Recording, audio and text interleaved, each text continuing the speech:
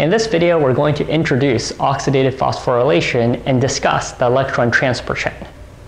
So, so far, from glycolysis in the citric acid cycle, we've produced a few molecules of ATP and GTP, but the bulk of the ATP production actually occurs in oxidative phosphorylation, which essentially is using the NADH and FADH2 that have been produced from glycolysis and the Krebs cycle, oxidizing them to produce a proton gradient that is used to produce ATP. Now, you should note that this is a two-step process. In the first step, that uses the electron transport chain to produce a proton gradient. In the second step, we're going to use ATP synthase, which uses that proton gradient to produce ATP. So in this video, we're going to talk about the electron transport chain. In the next video, we'll talk about ATP synthase. So in the electron transport chain, the electrons from NADH and FADH2 are passed through a series of electron carriers and eventually to oxygen to form water. So essentially, we're carrying out a number of oxidation reactions to release energy from NADH and FADH2. This energy is captured in the form of a proton gradient that as the electrons are traveling through these electron carriers, protons are being pumped from the mitochondrial matrix to the intermembrane space. And in this diagram, you can see a schematic of how the electron transport chain works. We have four complexes one, two, three, and 4. And there are two pathways. One is with NADH, which uses complexes 1, 3, and 4, and the second pathway is for FADH2, which uses complexes 2, 3, and 4.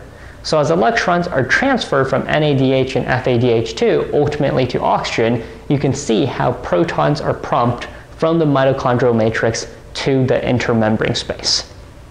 Let's now go through the complexes one by one.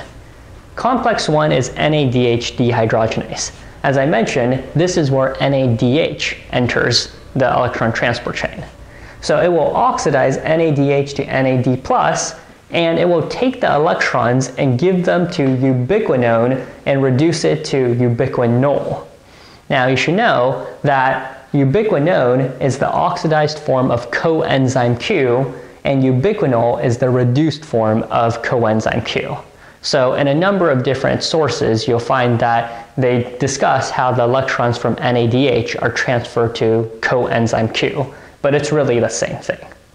And here, two electrons are transferred from NADH to ubiquinone. So essentially, both NADH and ubiquinone are two electron carriers. Each molecule can carry two electrons. And we pump four protons from the mitochondrial matrix to the intermembrane space. We can now talk about complex 2, which is succinate dehydrogenase. As we discussed, succinate dehydrogenase is the only enzyme that participates in both the citric acid cycle and the electron transport chain. In the citric acid cycle, succinate dehydrogenase catalyzes the oxidation of succinate to fumarate and the reduction of FAD to FADH2. In the electron transport chain, succinate dehydrogenase will oxidize FADH2 to FAD and it will reduce ubiquinone to ubiquinol. So what you'll notice is that complex 1 and complex 2 both produce ubiquinol, which then continues on to complex 3. So that's why there's two different pathways. They both produce the same product. It's just a matter of which substrate do they use. Complex 1 uses NADH, complex 2 uses FADH2. Now, in complex 2, two electrons are transferred from FADH2 to ubiquinone. So again, these two molecules are both two electron carriers. They carry two electrons per molecule. And notably, no protons are transferred to the intermembrane space in complex 2. So this actually explains why you've probably heard before that NADH produces more ATP molecules per molecule than FADH2. And that's because NADH enters in complex 1 that will help to pump protons across the membrane.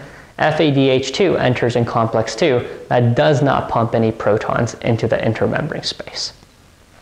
Okay, So now let's look at complex 3, which is called coenzyme Q cytochrome C oxidoreductase. Here, ubiquinol is oxidized to ubiquinone, and two molecules of cytochrome C in its iron 3 plus condition is reduced to cytochrome C Fe2 plus. So you can see from the change in charge from Fe3 plus to Fe2 plus that each cytochrome C molecule is accepting one electron. And that's notable because that means that cytochrome C is a one electron carrier, unlike all of the other electron carriers in the electron transport chain. So two electrons are going to be transferred from ubiquinol, and one of each of those two electrons are accepted by a cytochrome C molecule. So basically just note that we need two cytochrome C molecules per ubiquinol for this step. And as part of this process, we will transfer four protons into the intermembrane space to help generate that proton gradient. So finally, we have complex 4, which is also called cytochrome C oxidase. It's well named because here, cytochrome C two of these molecules are going to be oxidized from uh, Fe2 plus to Fe3 plus. And these two electrons produced are going to be used to reduce oxygen to water, and that's the last reduction oxidation reaction. And that's why we call oxygen the final electron acceptor. So here, two electrons are transferred from two molecules of cytochrome C to oxygen, and we also pump a couple protons into the intermembrane space. So uh, because we're still pumping protons from complex 3 and complex 4, that's why FADH2 is still helpful for producing ATP, but it's just that NADH pumps more protons across the inner mitochondrial membrane, so NADH produces more ATP per molecule than FADH2. In the next video, we'll talk about how this proton gradient is used by ATP synthase to produce ATP.